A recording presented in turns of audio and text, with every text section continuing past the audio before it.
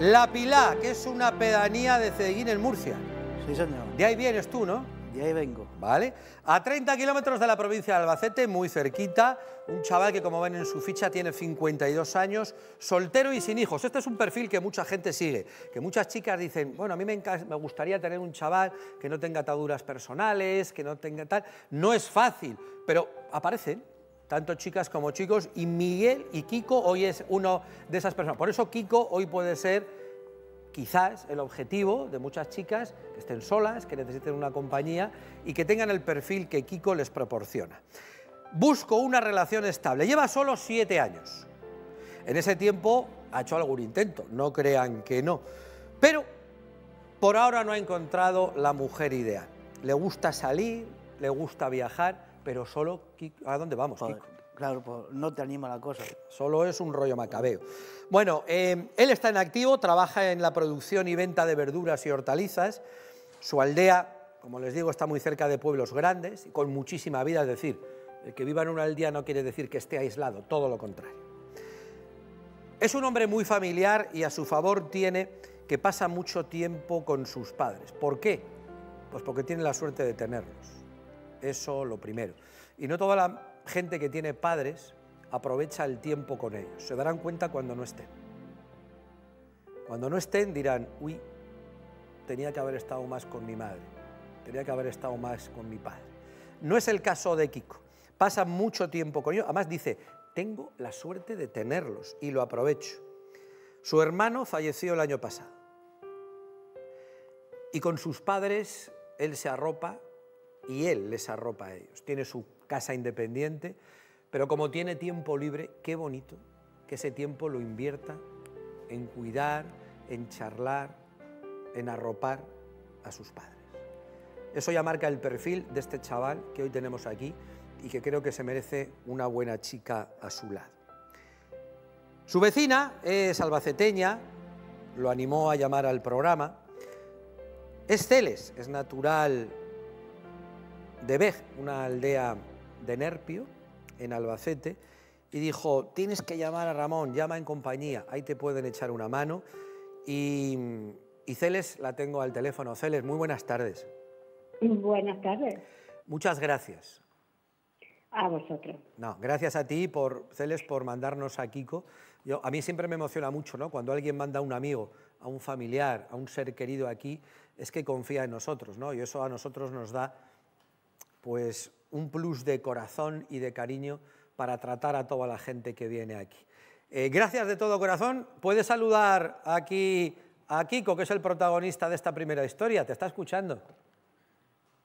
Campeón, ¿qué tal? Nada, bien. Muchas gracias por, por apoyarme.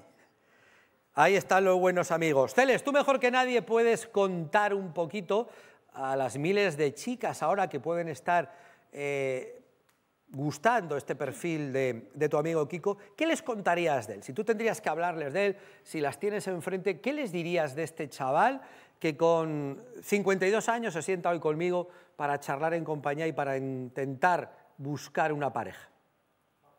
Pues les digo a mis paisanas que se animen, que es súper, súper, súper, que es muy generoso. Ajá eh, le gusta mucho estar, como tú has dicho, con sus padres. Bueno, en tiempo libre y también le echaría un ojico a su pareja. Claro, o sea, hay tiempo para todo. para todo. Pues te mando un beso muy fuerte, una vez más, gracias por recomendarnos y ojalá tenga la suerte que Kiko necesita para encontrar esa compañera de vida. Te mando un beso muy fuerte. Otro para vosotros. Adiós, buenas tardes. paisanes! Venga, Cele, ya nos vemos. Hasta luego. Gracias. Bueno, vamos hasta Ceguín, en Murcia. Eh, allí nació hace 52 años Kiko, eh, el mediano de tres hermanos. Eh, un padre que trabajaba en una cantera de mármol, mamá ama de casa. Un chaval que dice ya, Ramón, a mí estudiar no me gustaba mucho. No, la verdad es que no. No. Me ha gustado la expresión. Me costaba mucho abrir los libros. Esto me ha encantado. No, me gustaba nada. Pero me ha gustado la frase, en vez de decir, no me gustaba estudiar, no quería. Dice, me costaba mucho abrir los libros. O sea, ya claro, si ya no abres los libros, ¿cómo vas a estudiar? Pero me ha, parecido eh, contado muy bonito. El primer amor, estos amores de adolescente, con 14 años. Conocieron a un grupo de chicas, iban a una cafetería con unos amigos, y allí conociste a una de aquellas chicas. Pues iban tres y, las presentemos. Ajá. Pues, y, ya pues quedemos para otro fin de semana. ¿A ti cuál de todas te gustó? Pues la más guapa, no ah, Mira. Iban tres, pues... Claro, la que más guapa para ti. Claro. ¿Cómo era ella? ¿Ella? Rubia, morena, alta, era, Era morena, con los ojos verdes. Muy, muy guapa. Muy bien. Bueno, pues se gustaron, porque enseguida se lo confesaron el uno al otro empezaron a charlar, empezaron a pasear, empezaron a quedar, y lo que se hacía entonces, en cuanto se empezaba una mínima relación, ya hablar con los padres para aquello asentarlo un poco. ¿no? Eh, ¿Fuiste a hablar con los padres de ellas? Claro. ¿Y, qué te dijeron? Nada, que erais unos críos. Les caí muy bien. Bueno, menos mal. que cuando soy muy joven, eso de los padres... Ya, lo primero, pues estábamos a escondidas porque teníamos miedo pero ya poco a poco fue la relación y entonces pues ya dimos el paso de, venga, preséntame a mis padres y tú a los míos. ¿Y, fue bien? Sí, fue bien. Perfecto. Bueno, pues al año siguiente tuvo que dejar de estudiar.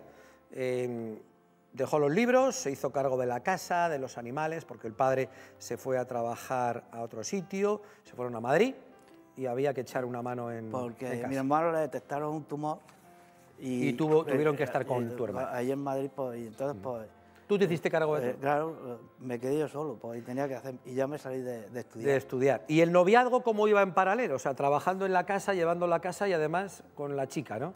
todo bien. Todo bien. ¿Qué planes hacíais por allí? ¿A dónde ibais? ¿Qué, se hacía entonces?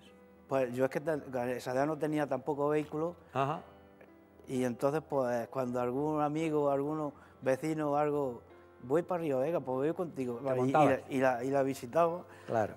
Cuando podía porque tampoco tenía medio para ir a verla. Incluso ella, por una vez, pues, se vio con una amiga andando.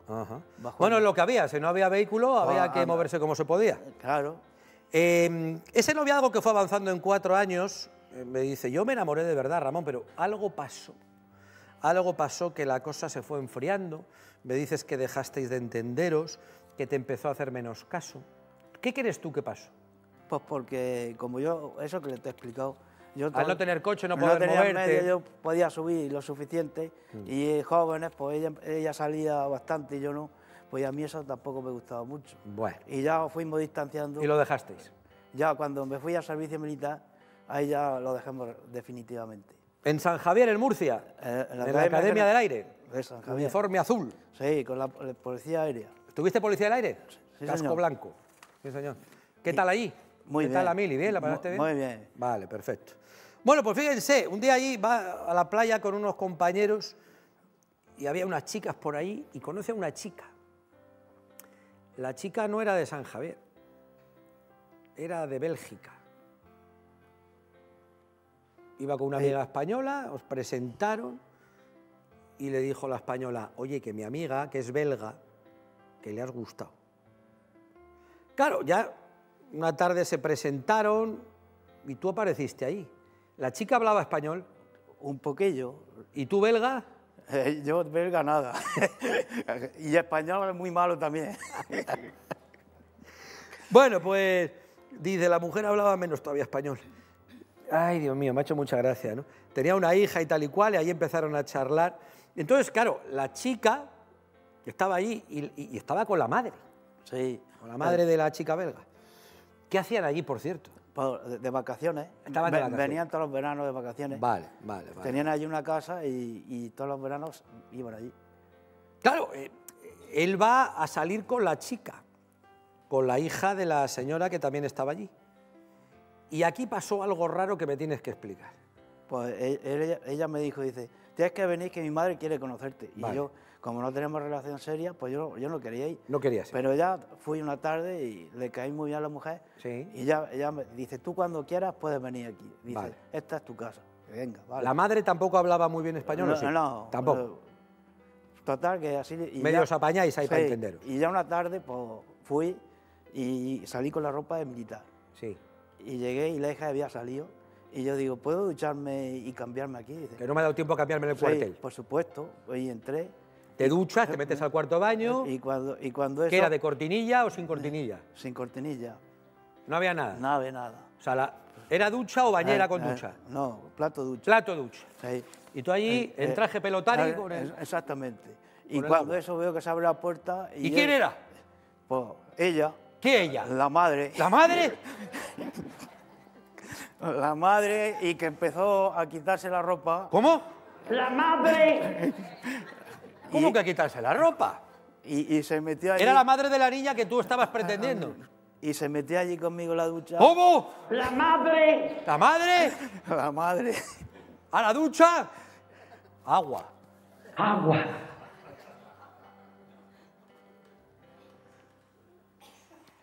Imagínense la papeleta. Este hombre en traje pelotari, en la ducha, también podría haber puesto una cortinilla o algo, ya por lo menos te asoma la cabeza ahí. Traje pelotari, entra la señora belga y se despelota. ¿Y se metió a la ducha? Claro, se metió conmigo. La madre. De la belga. Se metió a la ducha. ¿Y qué caía, chiquito? Agua.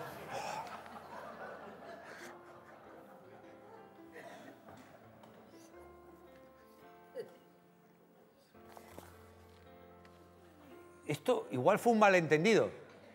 Yo creo que no. Eh, Yo creo que ella quería. Sabía que me iba a contestar esto. ¿Hubo contacto? Sí hubo. Pasó lo que tenía que pasar. ¿En serio? En serio. ¿Y en Bélgica se hace igual? Ahí no lo sé porque no está nunca. Ah, tú estabas bajo él Agua. Y, y- y- y pasó lo que... Hombre, yo entonces eh, era militar, yo estaba en forma. ¿Y qué tiene que ver? Hombre, pero gua- guapete, la- a la mujer se ve que le guste. Ahora la mía. Y claro, presente en armas. A pesar de que caía... Agua. Aquello estaba firme. ¿Pero hubo alguna explicación? ¿Qué te dijo la señora? Si, No, eh, si tú ibas a salir con su Eh, hija. eh, ya cuando ya terminemos, y dice, Terminamos de ducharnos. sí, de ducharnos salimos y dice, dice, no ha pasado nada. ¿Cómo que no ha pasado nada? Dice, esto, se- esto se queda así. Se queda así. Digo, vale. Y ya, y ya no volví yo a la casa, digo, no. ¿Cómo por- para volver? Digo, no vaya a ser que me la otra vez y tenga que salir mal parado. Como para volver. Y encima hablando en francés, ahí, a la belga. Bueno, ahí se quedó todo. Ahí se quedó. ¿No las volviste a ver? Ya, ya no. Ya no quise tampoco con la hija ni nada. Digo, voy a dejar la cosa así. Antes de que vaya más. Me gustaría haber escuchado la versión de la belga. Po, pasa que no tengo el número.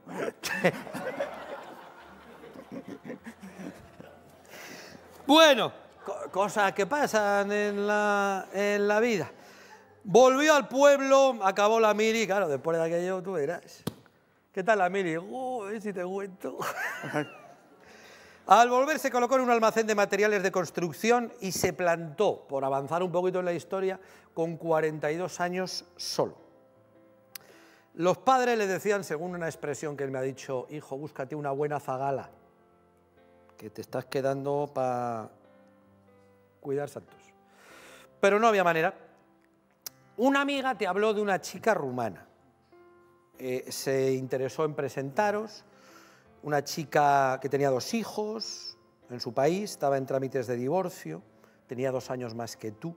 Dice, a mí no me importó Ramón lo de los niños, me parece una chica muy maja, muy agradable, nos conocimos, empezamos a, a salir y todo fue como muy rápido porque conectamos muy bien, Sí. encajasteis muy bien, te pareció una chica estupenda, dice, había muchísimas cosas que encajaban en tu vida, eh, tú con ella, de manera que en cuanto rodaron un poquito, empezaron a, a convivir, se enamoraron, conocieron la familia, encajaron todos perfectamente. Y después de cuatro años juntos, ella fue a su país a arreglar unos papeles, que es lo típico. Oye, cariño, me voy a Rumanía, que tampoco está tan lejos, dos horas y pico en avión, son dos horas y pico en avión. Voy a Rumanía y ya cuando arreglen los papeles vuelvo.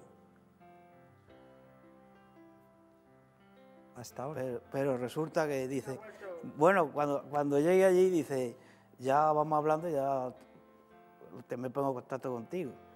Pero se pasaban días y yo no sabía nada de ella y un día llamo y entonces el número decía que no existía. Había cambiado el número. ¿Y no has vuelto a saber nada de ella? aquí? Sí, luego a, los cuantos años, entonces ya... Dios señales de Me llamó otra vez y digo, yo ya no quiero saber nada. Y ahí, se, acabó todo. Y ahí se acabó.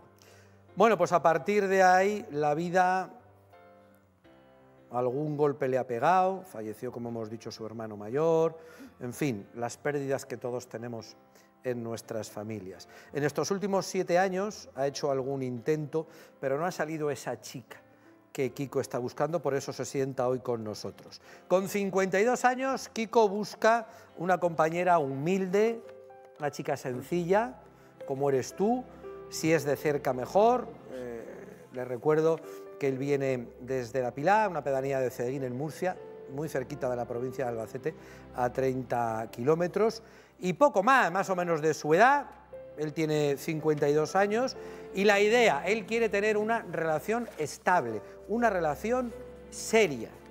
Sí, señor. De manera que así sea, y si tienen plato de ducha, pongan cortinilla, por lo que pueda pasar. por lo que pueda pasar. ¡Qué humedad!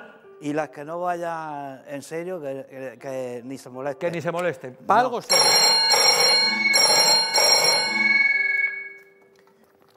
Bueno, pues vamos a ver quién está por aquí. Hola, señora, señorita, buenas tardes. Hola, buenas tardes. Uy, qué voz más bonita. ¿Cómo te llamas? Pilar. Pilar. La voz es preciosa, Pilar, me encanta. Muchísimas gracias. ¿De dónde nos llama Pilar? De Albacete. De Albacete. ¿Albacete capital o alguna localidad? Eh, de Albacete capital. Bueno, pues estáis cerca. ¿Cuántos años tiene Pilar? 50. Mira, qué bien de edad. ¿Estado civil? Eh, soy divorciada. Divorciada. ¿Hace mucho? Eh, diez años. Diez años. ¿Hijos? Tengo dos. Dos. ¿Mayores o viven contigo todavía? Eh, ahora están conmigo por, bueno, pues por problemas, pero mayores, 29 y 24 años. Ya les vas echando, ya son mayores. Ya. sí. Qué broma, estarán perfectamente con su madre, si están ahí contigo, tendrán y su, madre con ellos. Tendrá su motivo, tú fenomenal, no te preocupes. Que eso ya lo hablarás con Kiko, que es a quien le puede interesar cuando charláis. ¿Qué te ha gustado de Kiko, por cierto, Pilar? Pues lo veo sencillo, lo veo muy humilde, sí que se ve nervioso, pero se ve muy honesto también. Sí. No te equivocas, no. Este es transparente. Como el agua. Es como mejor se ven las personas. Eh, una curiosidad, Pilar, ¿en casa tienes ducha o bañera? Tengo bañera. ¿Tienes bañera? Sí. Una con mampara y la otra con cortina. Ah, entonces bien. Tenemos mampara y cortina. Y además la bañera eh, es, divertido. No podemos salir corriendo. Claro. Pero hay que ahorrar. ¡Agua! Hay que ahorrar. Hay que ahorrar agua, chiquito. Mejor una ducha corta. Bueno, os presento. Kiko, te voy a presentar a Pilar, ¿vale? Luego me despido de ella. En esa cámara que se acaba de encender, ahí tienes a Pilar de Albacete. ¿La puedes decir? Bueno, Pilar, pues muchas gracias por llamar. Ya cuando me den tu número ya te llamaré. De acuerdo. Muchísimas gracias a ti por estar ahí, porque tienes valor o sea, hay que echar Cuando alguien quiere algo, lo tiene que echar. Bien dicho. Exacto, es bien verdad. Si no lo busca, no lo encuentra. Es, así es. Del cielo no cae nada. Hay que echar una mano y cada uno a sí mismo coger el problema y para adelante. Pues Pilar, cariño, ojalá esta llamada y esta futura charla que mantengas eh, con Kiko te valga para encontrar un buen chico, ese chico que te puede ser el compañero de vida en un futuro y que, y que seáis una pareja más de las más de mil que han formado ya en este programa desde que empezamos hace 2.000 programas, ¿vale? Ojalá. Enhorabuena a ti y a todo el programa, porque sois una maravilla. Lo hacéis vosotros el programa. Muchísimas gracias. A ti, Ramón. Eso es verdad, lo hacen cada tarde todos ustedes estando aquí con nosotros. Si no, no hubiésemos llegado a los 2.000 programas. Y nuestro equipo de redacción, nuestro equipo técnico, gracias a eso Gloria y servidor de ustedes se puede poner aquí delante todos los días. Hoy eh, Miguel Moya me ha traído aquí con Miguel. Buenas tardes. Buenas tardes. Pues eh, también trasladar el agradecimiento por estos 2.000 programas y, sobre todo Kiko, que, lo has hecho genial, te has transmitido la bondad que, que tienes dentro. Y, y, espero que tengas un poquito de suerte porque te lo mereces, te lo mereces de verdad, eres transparente, no hay más que verte la cara, así que nada, te espero de vuelta y, ojalá y tengas muchísima suerte. Sabes que lo deseo de verdad y de corazón. Venga, gracias a ti. A ti, a ti siempre. ¿Tú, Miguel, tienes ducha, mampara? Yo tengo ducha porque, como dices, hay, hay que ahorrar. Tengo mampara, mampara. Tiene mampara, Si es que con las cortinas el agua se sale fuera. Vale, pero la, mampara es transparente o biselada? Está un poquito biselada. Para que no se vea nada. Tiene su truco, efectivamente. Ahí está nuestro compañero, nuestro compañero Miguel. Ahora me despido de Kiko, vamos a